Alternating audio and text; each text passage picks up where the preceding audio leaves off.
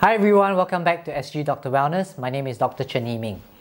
Today I'm going to talk about a very common shoulder condition known as frozen shoulder or adhesive capsulitis. If you have shoulder pain or stiffness or inability to move your shoulder as much as before, you may actually be suffering from this condition. What causes it and how can we treat it? Please watch till the end of the video.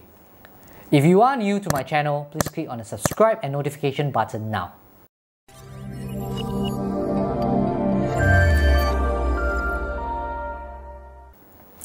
Our shoulder joint is a very flexible joint. The humerus bones articulates with the shoulder blade bone, and this is surrounded by a tough connective tissue known as the capsule, which is filled up with a lubricating fluid known as synovial fluid.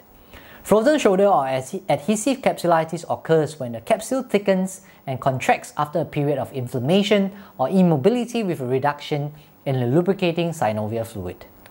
This then results in pain and reduction in the range of motion of the shoulder joint. So what are the causes of this condition? Diabetes.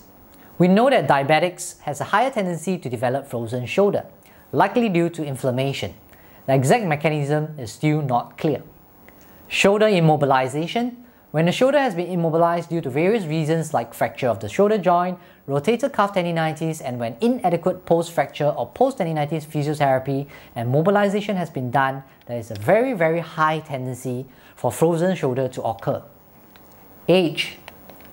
In my practice, I see that frozen shoulder usually occurs in adults aged 40 to 65 and I rarely see this condition in young adults.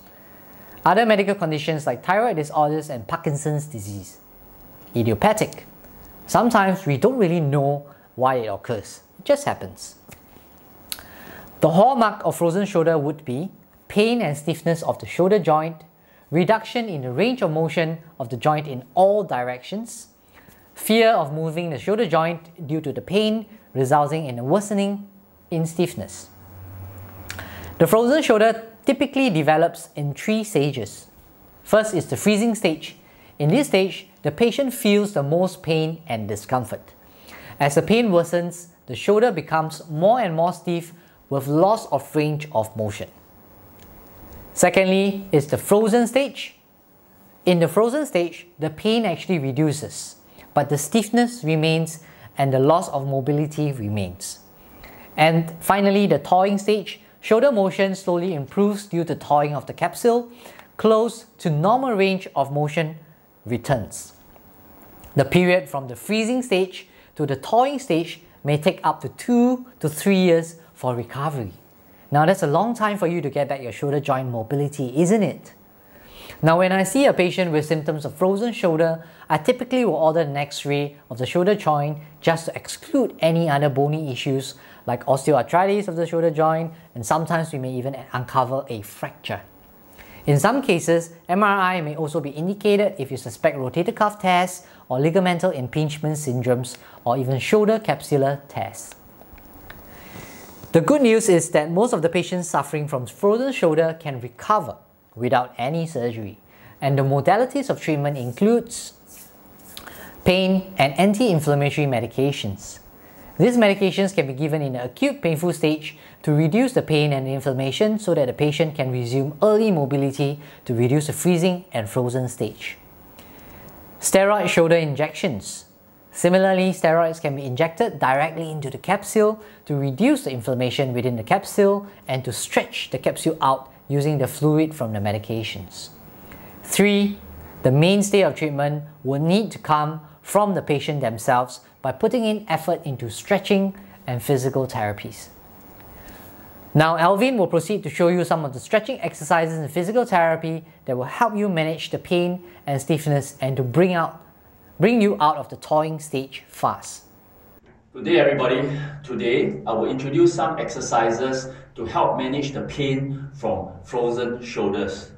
Right, so for the first exercise, take a seat with a backrest Put one hand over the backrest for support. Keep your arms straight and your back straight as well. Don't round off your back. Dangle the injured shoulder over the ground like so. Right, make sure that it's fully dangled. and turn clockwise or anti-clockwise in this fashion for about 10 to 20 rotations.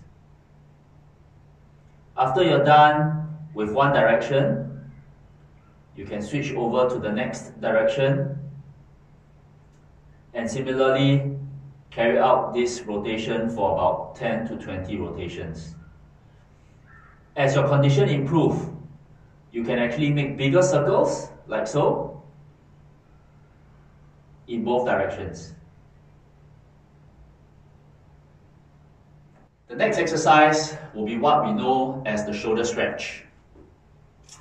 Place the arm of the injured shoulder over your chest like so and use the other arm and gently press it towards your chest. Feel the stretch over your shoulder. Keep your arm straight and hold it there for about 10 to 20 seconds.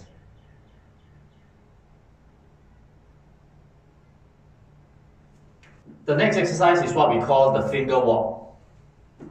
So face the wall and take the arm of your injured shoulder, bend it into a V formation, and place two fingers on the wall, like so. Walk your fingers up the wall and raise your arm as high as you can as you walk up the wall. Okay, once you have stretched out to your maximum, if it's very painful, use the good arm and bring down for another set. Like so.